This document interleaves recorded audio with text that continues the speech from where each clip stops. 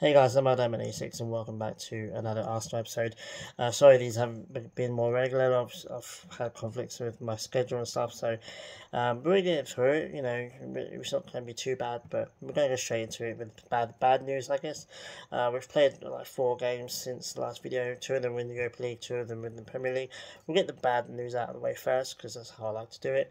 Um, obviously we lost to Sporting over two legs um, and got knocked out of the Europa League not ideal, really. We kind of wanted to go far in that tournament and, you know, maybe even win it and uh, secure a Champions League that way. Um, and, you know, losing at home the way we did on penalties is kind of like, um, like, really? But, you know, it is what it is, you know. You feel disappointed and stuff, and it's slightly embarrassing, I guess. Um, but, you know, this Arsenal has, this Arsenal team has more things to um, think about and focus on right now. And um, you know, if we were at third, fourth, fifth, and going into what's like looking like a pretty hectic um, top four fight the next the last ten games of the season, um, you know, then then I would have been more bummed about it because obviously it's a good way to get into the Champions League. Champions League for me was my main priority this season, get back into the elite European competition. Finally, after a too long out, um, and this squad's good enough for the Champions League, in my opinion. Um, but you know, there are lessons to be learned. One of them is that our rotated eleven is still not as good as our first eleven. Um, you know, Matt Turner. In the first, I think he played the first sporting leg and had a bit of a dodgy game. Um, obviously, Ramsdale's played the second leg. I think Turner's injured. Um, and most of our rotating eleven weren't up to par. Um, and that's something to work on. And obviously, if we have Champions League football, we can get a slightly better calibre of players in. Um, so yeah, so we're at the Europa League, but it is what it is. We're focusing on the Premier League now, um, and that's what we're going to be doing for the rest of this series. Because you know, I haven't really spoken much about the Europa League at all this season, this this series, because obviously I don't really do videos on, on the Europa League until maybe the semis and the final. But that's not going to happen now. And to be honest, I'm not too fussed about it. You know, we got bigger fish to fry this season. And to be honest with you, you know, our squad's not deep enough to focus on the Premier League and the Europa League. And, you know, if you, if you ask me what trophy you want to win, I would say the Premier League. Um, so that's what we're going to be trying to do. Anyway, so the first Premier League game we played was Fulham. absolutely demolished them.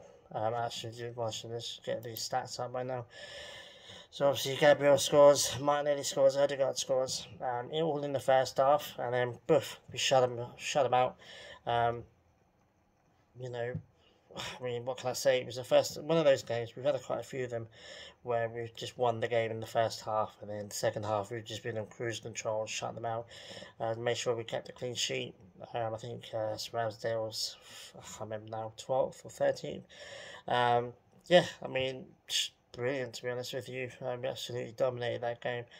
Uh, 56 to 44% possession. Um, we had like a hundred more passes than them, so we out, we outplayed them, and it was pretty comfortable. And people were saying that it was probably one of Fulham's worst games of the season. They've done really well this season. You know, I think they're in the top ten still. So, um, bit unlucky for them as well to get knocked out the FA Cup. Um, obviously, a, a mistake, and then you know three of the two of their players and their manager get sent off.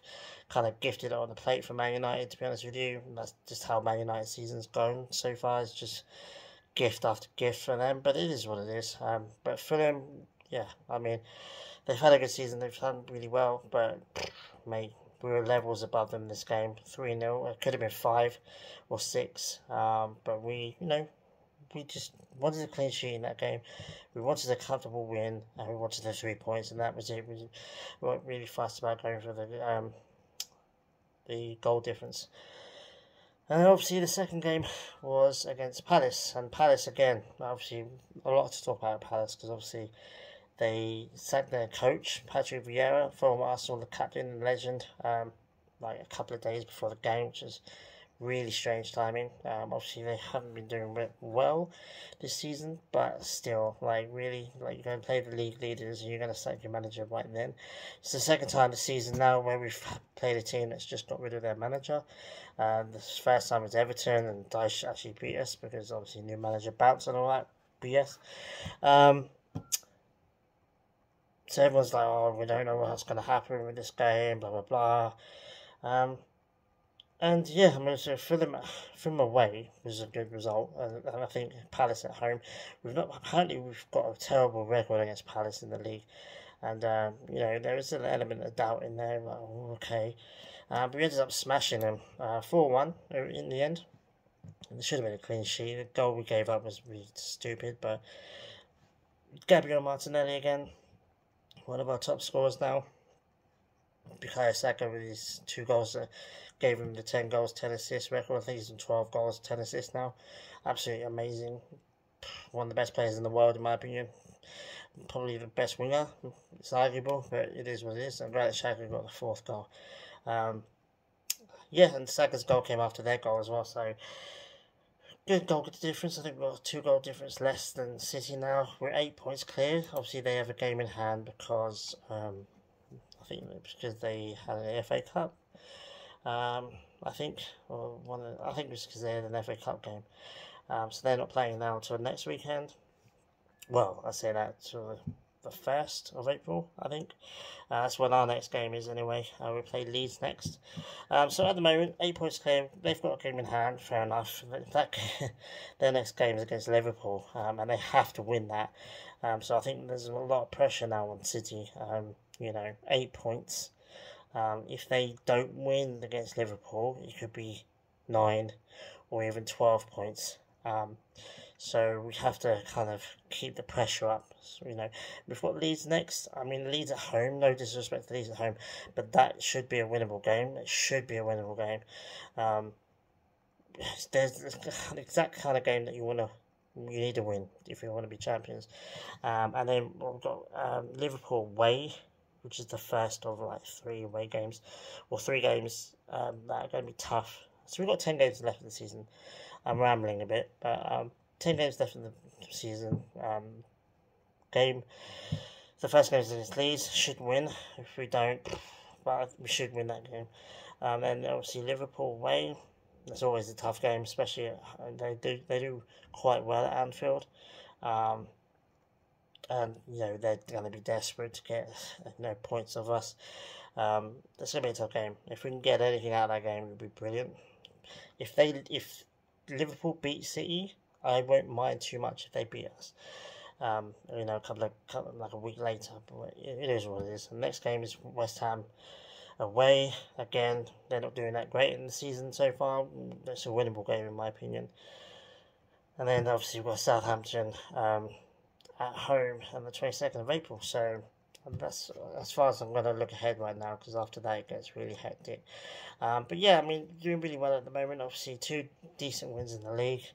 Um, seven goals scored, one goal conceded, six points. Brilliant, like awesome. And hopefully it continues with the Leeds game, and then you know when we get to Liverpool game, we've got nine games left, and that's when it's uh, going to start getting pretty um, intense. Is the word I think I'm going to use. Um, but yeah, I'm, I'm pretty happy right now. Obviously, eight points clear. Um, they have a game in hand, but you know, so what? Um, it's all about points on the board, not how many games in hand you have, because you can't guarantee that you're going to win. And City have had a bit of a history this season of not winning games that they should be. So um, I noticed that Haaland's blagged himself out of international duty, so he's obviously going to be free and fit, ready for Liverpool. Um, that's going to be an interesting game.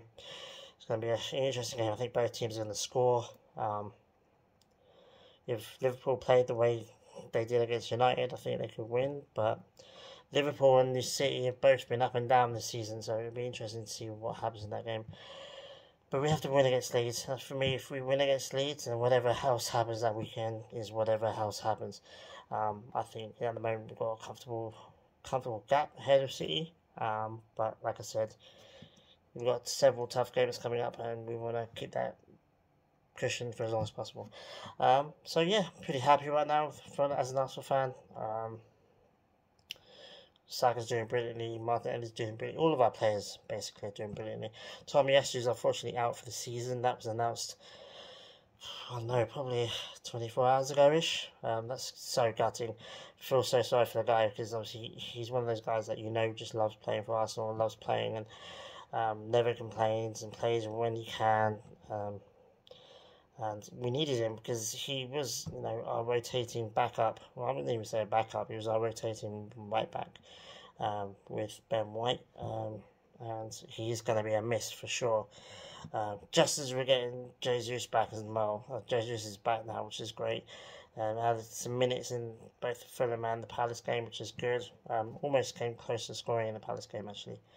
Um, so you know we get we get a player back and then lose another player. So the whole myth. Um, I think it was Erik ten Hag, wasn't he? The genius over there at United that says that we have all of our main players game in, game out, or every game this season. I wish, bro. I wish, mate, because uh, we've we've had injuries all season. Partey's been out loads. Um, Jesus they just come back and since the World Cup, that's like four months ago now. Um, it's, it's a ridiculous comment. I don't know why he said that. It's so dumb. Um, you know, but ever since he said that, we've had a player go out. Eddie and Nketiah's out for a while. Um, can't even think who else is out. Somebody else is out. I can't remember, but it is what it is. Anyway, guys, I'm gonna stop now because I, don't want to ramble too much. But I'm really in a good place right now with Arsenal, and you know it's just game by game now. Just focus on the next game. Don't focus too much on the games we've got coming up. For me, it's all about Leeds. Just get the game, get the win against Leeds, and you know then then we'll worry about the next thing. But um, even looking at the fixtures, you know, I don't have to scroll down anymore. Like we're we're in the bottom page now of the fixtures. That's how close we are to the end of the league, end of the season. So, um, also found out that um, on the last note that obviously Arsenal are going to be going to the US. Um, as as of right now, I think they've only got the one game. Uh, I think it's July nineteenth in Washington for the MLS, um, MLS All Stars or whatever.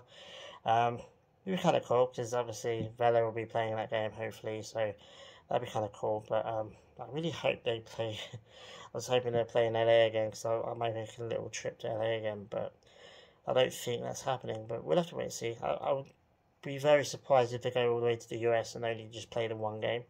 Um, but we'll have to wait and see. Anyway, um, that's it, guys. Like we'll call up now. So Leeds next. Uh, I've got that weekend off, so I should um, be able to get another video out that weekend. So yeah, we'll talk about Leeds next time I see you. So take these guys, enjoy the moment, enjoy it as it happens. You know, just take one game at a time and um, see what happens. Um, but yeah, anyway, take these guys, and I'll see you guys next week. Adios.